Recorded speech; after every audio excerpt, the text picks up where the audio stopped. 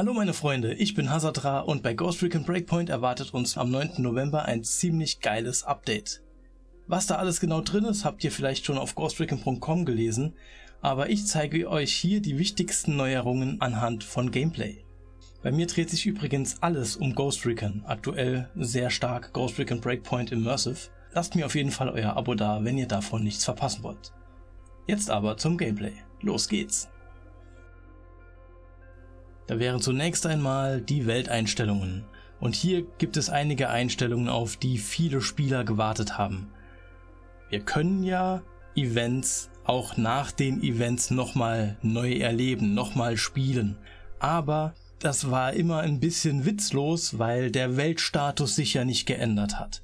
Das können wir hier in den Welteinstellungen ändern, denn hier können wir die Terminator-Patrouillen und die Outcast-Präsenz in der Spielwelt aktivieren. Wir können nur entweder Terminator oder Outcasts in die Welt bringen, aber trotzdem sehr, sehr, sehr geil. Gerade bei dem Event mit den Outcasts hat sich die Welt so lebendig angefühlt und ja, das ist eine wirklich sehr willkommene Neuerung. Auch eine willkommene Neuerung ist, dass wir die Drohnenpräsenz, also die generelle Drohnenpräsenz auf Aurora deaktivieren können. Das deaktiviert nicht die missionsrelevanten Drohnen, aber die Drohnen im, ich nenne es mal, im freien Spiel. Und das ist doch schon ziemlich geil, weil die können einem schon so das ein oder andere Mal ganz schön auf den Keks gehen. Zu den Drohnen gibt es auch noch eine geile Änderung, aber dazu später mehr. Wir können hier auch die Azrael-Patrouillen, die können wir deaktivieren. Und ganz ehrlich, das ist doch echt ein, das ist ein Geschenk der Götter. der Götter bei Ubisoft. Denn, also, ich weiß nicht, die Azrael-Drohne, die hat halt echt nichts, also wirklich so, so vom, für mich persönlich nichts zum Spielgefühl beigetragen, also nichts Positives. Die war halt einfach nur nervig. Und ja, dass wir die jetzt deaktivieren können, ist echt richtig, richtig geil. Die Helikopterpatrouillen, die können wir auch deaktivieren, aber die stören mich tatsächlich gar nicht so sehr. Also die werde ich auf jeden Fall anlassen. Ich werde wahrscheinlich auch die Drohnenpräsenz anlassen, aber die Azrael-Drohnen werde ich deaktivieren, denke ich. Bei den benutzbaren Items gibt es auch ein paar geile Änderungen. Und zwar können wir jetzt C4 und Minen, das wir irgendwo in der Welt platziert haben, endlich aufheben.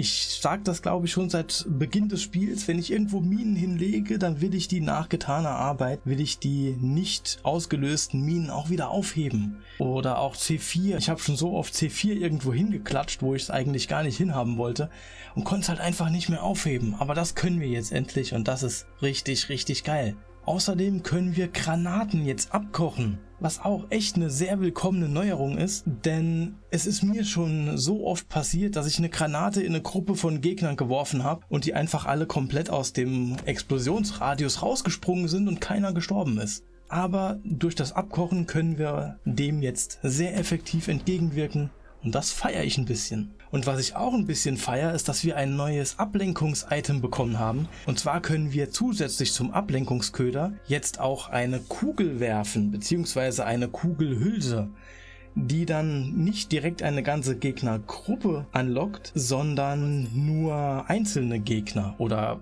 glaub maximal zwei. Das habe ich noch nicht so genau ausprobiert. Aber auf jeden Fall laufen nicht mehr alle Gegner im Hörradius zu diesem Punkt, sondern nur einer. Und das ist auch sehr, sehr geil. Und weil das noch nicht genug ist, was die Items angeht, haben wir auch noch zwei neue Slots im Item-Auswahlrad spendiert bekommen. Und die Slots im Item-Auswahlrad, die sind jetzt auch nicht mehr nach aktiven und passiven Items gruppiert, sondern wir können jedes Item in jeden Slot machen. Wir können, wenn wir wollen, können wir auch die Spritzen oben hin machen, Granaten unten. Vorher ging das ja nur umgekehrt. Und ja, das ist auch sehr geil. Wir können uns endlich so ausrüsten, wie wir es für richtig halten.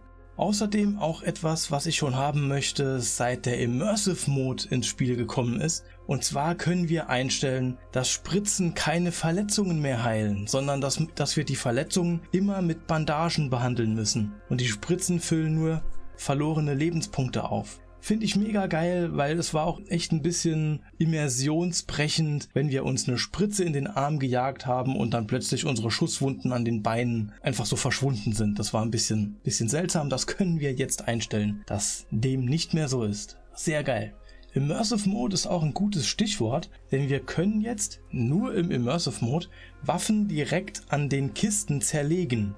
Vorher konnten wir im Immersive Mode gar keine Waffen zerlegen. Jetzt können wir in einer Waffenkiste am Computer die Taste F drücken, um die Waffe aus der Kiste direkt zu zerlegen und die Materialien daraus zu bekommen. Und das feiere ich, glaube ich, am allermeisten von diesem Update, denn bei den normalen Waffenkisten sieht man ja, dass es eine Waffenkiste ist. Und auch bei den Nicht-Waffenkisten, also bei den langen weißen Kisten, da sieht man auch, dass da keine Waffe drin ist. Aber bei den kleinen Kisten, da kann vor allem bei diesen bunten Kisten und bei diesen, ja, bei diesen Inka-Kisten oder was das ist, bei denen kann immer mal eine Waffe drin sein. Und, und man kann es, wenn man ohne HUD spielt, halt einfach nicht wissen, ob da jetzt eine Waffe drin ist oder nur Materialien oder vielleicht sogar Skill-Credits. Und durch dieses neue Feature können wir bei jeder Kiste einfach einmal die F-Taste drücken oder halt die entsprechende Taste am Controller. Und wenn da nichts passiert, können wir ganz getrost einfach E drücken, ohne Angst haben zu müssen, dass wir plötzlich die Waffe wechseln. Und zudem bekommen wir auch noch Zugang zu mehr Materialien.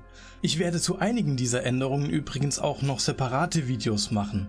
Also lass mir auf jeden Fall ein Abo da und aktiviere die Glocke, damit du benachrichtigt wirst, wenn diese Videos online kommen. Aber zurück zu den Waffen. Bei den Waffen können wir jetzt im Gunsmith die Farbe auffrischen. Mit der Zeit wenn man eine Zeit lang spielt, dann wird die Waffe ja mit der Zeit ein bisschen verkratzt und verdreckt und so weiter. Und wenn man das nicht mag, kann man einfach hier im Gunsmith die Farbe erneuern und da sieht die Waffe wieder fabrikneu aus. Bei den taktischen Einstellungen gibt es auch noch eine sehr, sehr, sehr geile Neuerung. Und zwar nennt sich die Funktion dunkelste Nacht. Und wenn ihr dunkelste Nacht aktiviert, dann wird die Nacht richtig geil dunkel.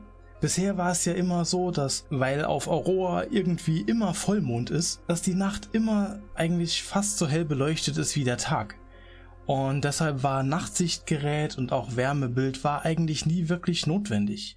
Und mit aktivierter dunkelste Nachtfunktion haben Nachtsicht und Wärmebild endlich einen Sinn.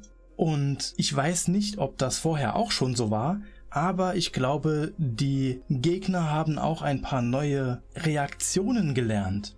Und zwar ist mir aufgefallen, wenn wir jetzt mit einem Fahrzeug irgendwo beim Gegner vorbeifahren und der sieht uns nicht, aber er hört das Fahrzeug. Und dann sagen die sowas wie, ähm, wer fährt dieses Fahrzeug? Oder wer ist in diesem Fahrzeug? Und das ist sehr geil. Und manchmal rufen die uns dann auch hinterher, hey Sie, warten Sie mal. Oder hey Sie, wo wollen Sie hin? Weil es ist ja eigentlich Ausgangssperre auf Aurora.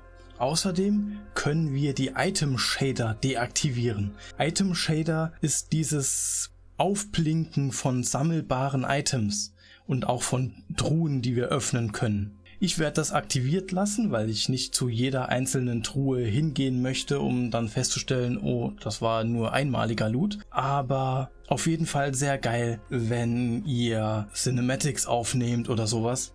Sehr geil. Macht das Ganze ein bisschen realistischer. Maria in Erewhon hat auch einen neuen Trick gelernt und zwar kauft sie jetzt Ressourcen in Massen an. Das heißt, wir müssen nicht mehr, wenn wir gerade ein paar Scale-Credits brauchen, jede Pflanze einzeln verkaufen, sondern wir können die direkt in Massen verkaufen was uns das Leben dann doch schon sehr erleichtert. Apropos erleichtern, es gibt jetzt für Spieler, die mit Controller spielen, auch Einstellungen fürs Aim Assist. Übrigens noch etwas zum Waffenrad und zum Befehlsrad. Die Slots können jetzt auch per Tastendruck ausgewählt werden und müssen nicht mehr durch eine Bewegung der Maus aktiviert werden. Und zudem gibt es auch eine extra Taste, mit der man direkt das Befehlsrad öffnen kann. Das ist standardmäßig am PC die Komma-Taste. Dadurch können wir zum Beispiel unser Voice Attack Profil nochmal einen Schritt schneller arbeiten lassen und außerdem macht es dann auch nichts mehr aus, wenn wir, nachdem wir einen Befehl gesagt haben, uns noch mit der Maus umgucken. Mein aktualisiertes Voice Attack Profil für diese neue Mechanik, das kommt wahrscheinlich die nächsten Tage per E-Mail an alle, die das Voice Attack Profil schon angefordert haben. Und ansonsten, wenn ihr nach der Änderung des Voice Attack Profils das Profil anfordert, dann bekommt ihr schon direkt die neue Version. Oder vielleicht packe ich auch beide Versionen in die ZIP-Datei. Schauen wir mal. Für die Leute, die Raid spielen, gibt es jetzt auch noch eine Hardcore-Version des Raids und eine einfache Version des Raids.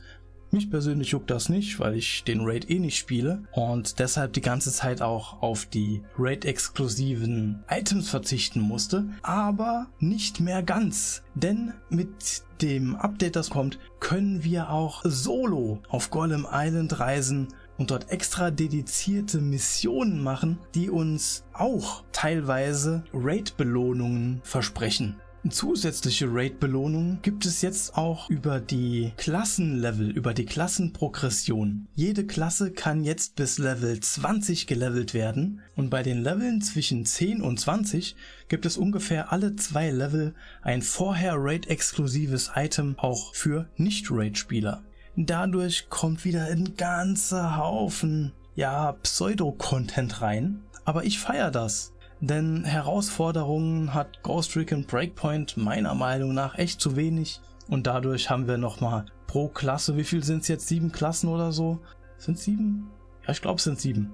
Ich habe es jetzt gerade, während ich das aufnehme, nicht vor mir. Aber ich glaube es sind sieben. Und dann nochmal zehn, zehn weitere Klassenlevel sind dann nochmal 70 Herausforderungen. Das ist richtig geil auch richtig geil ist, dass Gegner jetzt nachladen müssen. Vorher konnten die Gegner ja einfach immer schießen und schießen und schießen, mussten nie nachladen, wie so ein Westernheld im Kino. Aber jetzt müssen die Gegner mit Sturmgewehren, ob das auch andere Waffen betrifft, weiß ich nicht, aber auf jeden Fall die mit Sturmgewehren müssen nachladen. Was uns dann entsprechend die Gelegenheit zum Gegenangriff gibt. Ist wirklich sehr geil, bringt wieder einen Haufen mehr Realismus rein und mehr Realismus ist auf meiner Karte immer gut. Was ich allerdings nicht so gut finde, ist, dass die Gegner jetzt auch länger brauchen, um einen zu entdecken. Das hängt von der Distanz zwischen dem Spieler und dem Gegner ab und auch von der Alarmstufe hängt es ab. Aber ich finde es halt echt nicht gut, weil ich fand das Spiel vorher schon zu leicht. Aber ich bin vielleicht auch kein Maß, vielleicht bin ich auch einfach mittlerweile zu gut in dem Spiel. Und ich habe tatsächlich von vielen Leuten gehört, dass sie das Spiel zu schwer finden. Ich persönlich finde es selbst auf extrem und mit maximalen Immersionseinstellungen zu leicht. Aber ich bin, wie gesagt, vielleicht auch kein Maß dafür. Ja, Gegner brauchen jetzt auch länger, um zu kommunizieren. Das heißt, das Schleichen wird einfacher. Und apropos Schleichen, wenn die Gegner euch noch nicht entdeckt haben, dann verursachen eure Waffen auch mehr Schaden. Finde ich auch ziemlich kacke. Weil, ja, das ist halt irgendwie ein bisschen, ist halt unrealistisch. Ich habe das schon bei Wildlands gehasst, dass solange man nicht entdeckt wurde, den Gegnern in den Fuß schießen konnte und sie damit umbringen konnte. Und ja, also ich finde das doof. Aber keine Sorge, bei Breakpoint gibt es weiterhin keine One-Shot-Kills, sofern man nicht in den Kopf trifft aber nochmal dazu, dass die länger brauchen, um zu kommunizieren. Was ist damit gemeint? Und zwar ist damit gemeint, dass wenn ihr entdeckt werdet, dann rückt euch nicht sofort die komplette Basis auf den Leib, sondern ihr habt noch ein etwas längeres Zeitfenster, bis diese Soldaten oder bis diese Gegner eure Präsenz an ihre Kollegen kommuniziert haben. Ist realistischer und ich habe ja schon gesagt, mehr Realismus ist auf meiner Karte immer gut, aber es macht das Spiel halt nochmal wieder ein bisschen leichter. Ich hätte gerne Option gehabt, keine Ahnung. Von mir, es könnten auch alles One-Hit-Kills sein. Also, wenn, wenn Gegner mich treffen. Aber, hm, ja, gut. ich bin halt kein Maß. Und ich, vielleicht bin ich auch ein bisschen sadistisch, das weiß man nicht so genau. Eine Änderung, die das Spiel ein bisschen einfacher macht, finde ich allerdings gut. Und zwar ist, dass der gegnerische Mörser weniger genau schießt. Der hat ja immer Laser genau auf die, auf die äh, Spielerposition getroffen und jetzt trifft er wohl weniger genau. An den Thronen in den Lagern gibt es auch ein paar Änderungen und die sind ein absoluter Gamechanger. Also sofern man die Drohnen nicht in den Welteinstellungen deaktiviert hat. Und zwar fallen die Drohnen in den Lagern oder generell die Flugdrohnen, wenn die abgeschossen werden, fallen jetzt senkrecht nach unten und fliegen nicht mehr irgendwo in die Walachei und explodieren dort. Dadurch kann man auch ohne diese EMP-Pistole von der Echelon-Klasse Drohnen ausschalten, ohne direkt das komplette Lager in Alarmzustand zu versetzen. Und das ist wirklich sehr, sehr gut für Schleich-Gameplay. Und ich liebe Schleich-Gameplay. Die kleinen fahrenden Drohnen, also nicht die Behemoth-Drohnen, sondern die von der Größe von der Amon-Drohne, die fahren jetzt auch ein bisschen langsamer. Die Flugdrohnen fliegen, glaube ich, auch ein bisschen langsamer und bleiben zwischendrin öfters mal eine längere Zeit stehen, damit man auch eine Chance hat, sie, sie zu treffen, was ja immer ein sehr großes Problem war, vor allem bei den Murmurs. Und ja, dadurch hat man jetzt generell auch bessere Chancen beim Kampf gegen Drohnen. Wie gesagt, solange man sie in den Welteinstellungen nicht deaktiviert hat. Wobei die Deaktivierung in den Welteinstellungen ja nur die Drohnen außerhalb von Missionen betrifft. Ich werde wie gesagt die nächsten Tage und oder Wochen zu einzelnen Neuerungen dieses Updates einzelne Videos machen. Also wie gesagt, abonniert meinen Kanal und schreibt mir mal auf jeden Fall mal in die Kommentare, wie ihr das Update findet. Also ich finde es wirklich sehr, sehr, sehr geil. Ist zwar kein Jahr 2, aber es ist wirklich ein richtig, richtig geiles Update. Und ich freue mich riesig. Und ich habe das ja schon eine Weile gespielt jetzt. Ich konnte es sogar schon die ganze letzte Woche spielen. Und ja, das ist direkt ein komplett anderes Spielgefühl. Also mir macht das Spiel jetzt gleich nochmal doppelt so viel Spaß. Wie gesagt, schreibt's, schreibt's mir in die Kommentare, wie ihr das findet. Gebt ein Like und schaut ihr auf jeden Fall hier links meine Videoreihe an, in der ich zeige, wie du die maximale Immersion in Ghost Recon Breakpoint erleben kannst. Oder einfach hier rechts mein aktuellstes Video. Bis zum nächsten Mal, meine Freunde. Ich freue mich auf euch. Wir sehen uns.